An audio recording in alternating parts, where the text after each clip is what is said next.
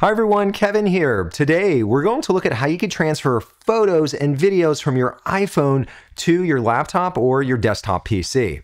It turns out it's really easy, so let's check this out. First off, you'll need to plug your iPhone into your computer. Here, I've plugged it in. As soon as you do that, you'll see a notification asking if you'd like to allow this device to access photos and videos. Click on Allow.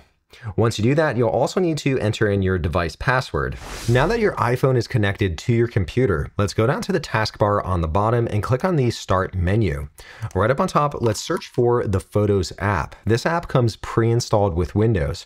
Right here, let's click on the app. This now opens up the Photos app. In the top right-hand corner, let's click on the button that says Import. And right here, you can see all of the different connected devices to your laptop or your PC. Down at the very bottom, we see the iPhone that we just connected. Let's click on this. This will now load up all of the different video files and photo files on your phone. Right up on top, you can select all of your files or you could go through individually and choose videos and also photos. Over here, I'll select this video file and this video file, and in the top right, I'll click on Add to Items. Next, you need to choose where you want to place these files from your iPhone. I have an existing folder called iPhone, so I'll select that, but you can also create a new folder. Down at the very bottom, click on Import. And right here, we see that it's now successfully imported these two items. Let's click into the folder.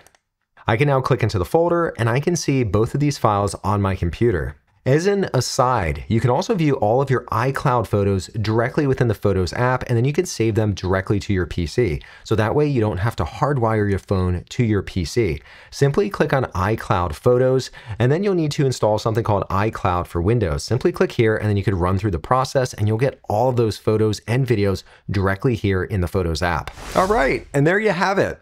If you found this video helpful, please consider subscribing, and I'll see you in the next video.